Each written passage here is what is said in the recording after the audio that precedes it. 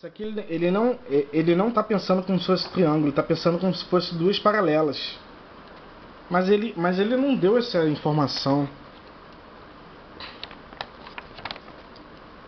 Ele simplesmente está afirmando que, que delta L1 e delta L2 são iguais.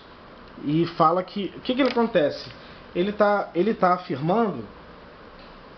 Ele está afirmando que, que, a, que, a, que o parapente, a, da, é, ou seja, a rampa de saltos, ela está paralela ao chão.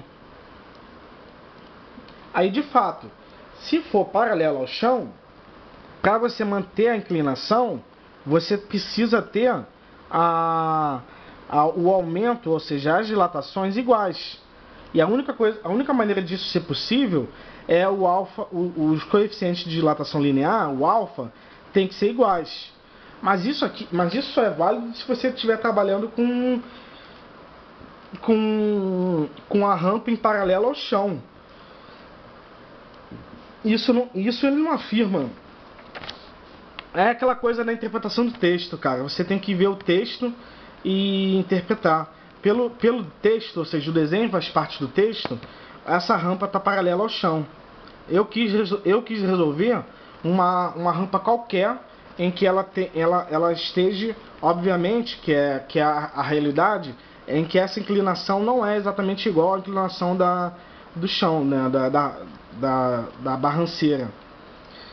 Então, galera, essa, essa é a realidade da física, entendeu? É, é, hoje em dia, se você não sentar para ler interpretação de texto, você vai fazer um raciocínio correto, como eu fiz. Você vai chegar numa. É, você vai chegar numa, numa, numa resposta e, pô, é, essa resposta não vai te ajudar. Porque não vai ser o que o texto está interpretando. Por causa de um desenho que diz que o negócio está em paralelo, ele tira a conclusão que ΔL2 é igual a, a ΔL1. Entende? Só por causa do desenho. Aí você faz a mesma conta que eu fiz, com, com, com esse raciocínio, você vai ter ΔL2 0, alfa 2 delta t igual a delta 1, 0, alfa 1, delta t. Corta delta t, corta delta t. A gente sabe que a relação entre, entre L03 e L01... Cara, mas isso que, isso que tá estranho. Cara, isso que tá estranho. Ele afirmou...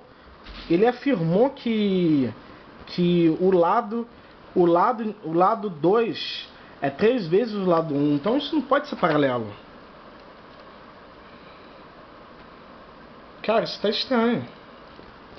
Essa resposta está errada.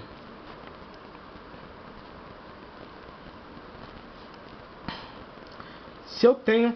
Se eu tenho... Então, olha só, primeira consideração. Ele afirmou realmente que isso aqui é três vezes isso. Então, de fato, a, a inclinação da rampa não é a inclinação não é a inclinação do, do, do, da ribanceira.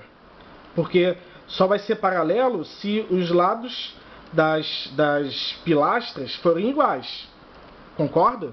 Porque a distância entre dois segmentos de reta paralelos são os mesmos. Se eles têm inclinação diferente, eles vão ter diferenças. Cara, eu tô certo, essa questão tá errada. Essa questão tá errada. Não faz sentido, ele não. Em nenhum momento ele formou isso. Uai. Em nenhum momento ele afirmou isso.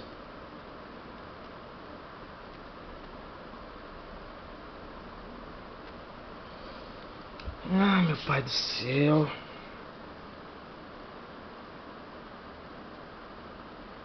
É, não, tá certo. É, é. Tem que, ser, tem que ser algo assim, não é possível. Pensa.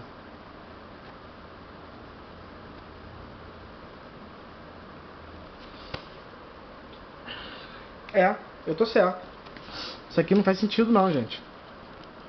Vou tentar provar aqui num desenho. A gente tem uma rampa que a gente pode imaginar que ela é um prolongamento de dois triângulos semelhantes, tá bom? Vamos, vamos provar para absurdo. O texto do gabarito falou que, que as dilatações têm que ser iguais. Então eu vou tentar fazer aqui é, dilatações iguais. Dilatações iguais é, é, indicam é, que você vai ter um, um, você vai ter a rampa subindo paralelamente à inclinação que ela estava antes. Ah, tá. É isso que ele está falando. Ah, tá. Esse foi meu erro. Aqui, olha só, não. Perfeito. Você tinha essa reta nessa inclinação que estava antes. Quando você aumenta igualmente, você está tendo uma nova reta paralela na mesma inclinação. É isso, gente. Foi mal. Eu induzi vocês ao, eu induzi vocês ao erro com a minha, com meu raciocínio de de de comprimento. Entende? Para eu poder ter a mesma inclinação, eu tenho que ter retas paralelas entre a inclinação da rampa no início e no fim. Então, para isso, só se delta L2 for realmente delta L1. Então, o que eu fiz está errado mesmo. É, desculpa, o que eu falei está completamente errado. Quando você tem dilatações distintas, é que você vai ter mudanças. Porque pensa, você tem uma reta paralela aqui tem uma reta paralela aqui. É, retas paralelas têm a mesma distância entre uma e outra. Então elas preservam a inclinação. Se eu, se eu falei erradamente que esse lado tem uma dilatação três vezes maior, a reta não vai ser paralela, vai, ela vai ser algo assim, né? Ou seja, ela vai mudar a inclinação que ela tinha antes, em comparação a essa. Então foi esse meu erro. A resposta não é A, a resposta é, é 3. C. Não, peraí. Não, a resposta é. Isso aqui é L2, isso aqui é 3, L01. Então eu tenho que alfa 2. Então eu tenho que alfa 1 é 3 vezes alfa 2. É, isso aí. 3C. Tá lá. Bom, a gente aprendeu uma coisa, né? Para manter, é, manter a mesma inclinação de uma reta, eu tenho que ter dilatações iguais.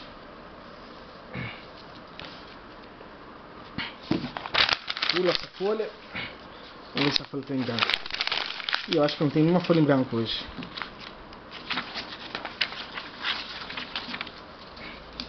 Acho que não tem nenhuma folha em branco hoje. Essa aqui é a continha. Ah, pronto. Tá, vamos para dois.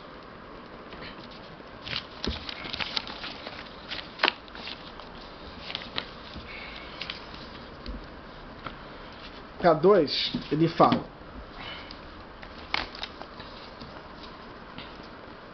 Ele fala. Você é convidado a projetar uma ponte metálica comprimento será de 2 km. Considerando os efeitos de contração e expansão térmica para temperaturas no intervalo de menos 40 a 110, e que o coeficiente de dilatação linear do metal é de 12, 10 a menos 6, por Celsius. Mas a máxima variação esperada no comprimento da ponte, qual a máxima variação esperada no comprimento da ponte? Então, é, é, o que acontece, gente? É, primeiro, é, nada, nada te impede você usar a temperatura em Fahrenheit. Só que você vai ter que converter para Celsius, porque o coeficiente de dilatação linear foi dado em Celsius. Tudo bem? Mas você pode fazer numa boa a, a diferença de temperatura.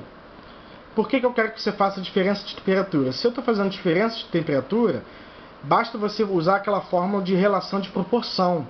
Não aquela fórmula que você acha o, o valor de menos 40 em Celsius e depois 110 em Celsius. Você vai perder tempo. Como você já calculou uma diferença ou uma queda de temperatura, basta fazer a relação de proporção entre, entre Fahrenheit e Celsius. E ele fala, o comprimento inicial né, é 2 é dois, é km. Né? Considerando efeito, qual a variação é, esperada, qual a variação máxima esperada no comprimento da ponte. O coeficiente de dilatação linear é constante no intervalo de temperatura. Cara, eu só consigo imaginar uma coisa, né? É você imaginar é, se ele quer o máximo é porque ele quer ele quer uma variação entre a menor e a maior temperatura. Só isso. Né? Então vamos calcular com, essa, com esse intervalo, nada demais. Então vai ser delta L igual a L0 alfa delta T.